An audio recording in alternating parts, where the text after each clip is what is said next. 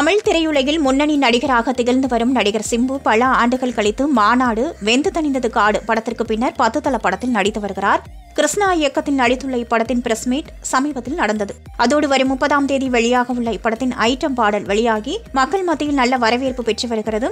ராவடி பாடலுக்கு ஆர்யாவின் மனைவியும் நடிகையுமான சாயிசா குத்தாட்டம் போட்டுள்ளார். அப்பாடலுக்கு நடிகை சாயிசாவுக்கு நாற்பது லட்சம் ரூபாய் சம்பளமாக கொடுத்துள்ளார்களாம். ஐந்து நிமிட பாடலுக்கு இப்படி ஒரு தொகையை பெற்றுள்ளது அதிர்ச்சியை கொடுத்துள்ளது. அதோடு பத்துத்தல படத்தில் கௌதம் கார்த்திக் ஜோடியாக நடிகை பிரியா பவானி சங்கர் முக்கிய ரோலில் நடித்துள்ளார். மேலும் அவருக்கு சம்பளமாக எழுபது லட்சம் ரூபாய் கொடுக்கப்பட்டுள்ளதாம். ஐந்து நிமிடம் ஐட்டம் பாடலுக்கு ஆட்டம் போட்ட சாயிசாவுக்கே நாற்பது லட்சம் சம்பளமாக கொடுக்கப்பட்ட நிலையில் பிரியா பவானி சங்கர் அதைவிட முப்பது லட்சம் தான் கூடுதலாக பெற்றிருக்கிறார். மேலும் இப்படி லட்சத்தில் சம்பளம் வாங்குவதால் தான் பிரியா பவானி சங்கர் ரெஸ்டாரண்ட் மற்றும் விளம்பரங்கள் மூலம் சம்பாதித்து வருகிறாராம். இந்த மாதிரி நியூஸை கண்டினியூஸாக கேட்க ராஜ் டியூப் சேனலுக்கு லைக் பண்ணுங்க ஷேர் பண்ணுங்க சப்ஸ்கிரைப் பண்ணுங்க பெல் பட்டனை ப்ரெஸ் பண்ண மறந்துடாதீங்க.